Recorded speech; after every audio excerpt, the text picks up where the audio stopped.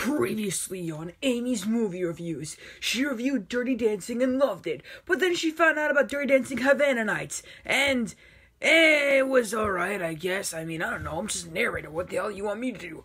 But now, Amy's gonna discover something so intense, and you are all going to watch.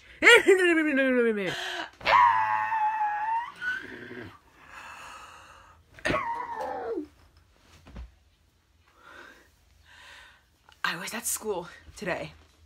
And I was Googling stuff because I was bored because I hate school. It's kind of obvious. I mean, it's, it's conflicting with my uploading schedule a little bit.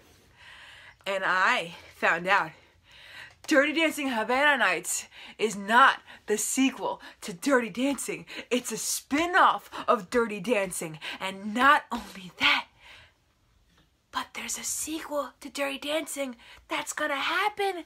There was an article that was published last year on August 7th that says there's gonna be a sequel. So let's read it. Because nobody puts baby in a corner. A corner. A Dirty Dancing sequel is indeed happening, courtesy of Lionsgate Deadline Reports. Ooh, Lionsgate. Studio CEO Jon Feltheimer confirmed the news on an earnings call Thursday, referring to it as one of the worst kept secrets in Hollywood, according to the publication. It will be exactly the kind of romantic, nostalgic movie that franchise fans have been waiting for, and that will have made the biggest selling library title in the company's history, he reportedly said. The 1987 film starred Patrick Swayze and Jennifer Grey as dance instructor Johnny Castle and vacation Frances Baby Houseman, who find love and a now iconic dance routine at Holiday Resort. At Holiday Resort. Grey is reportedly set to star in the sequel as well as executive produce it.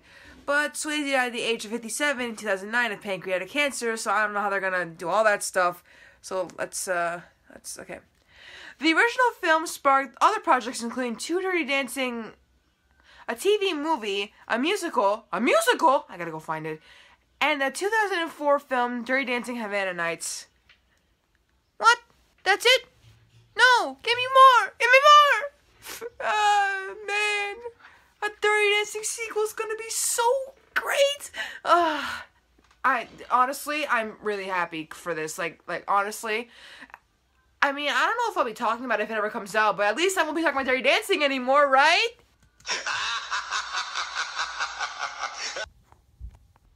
No.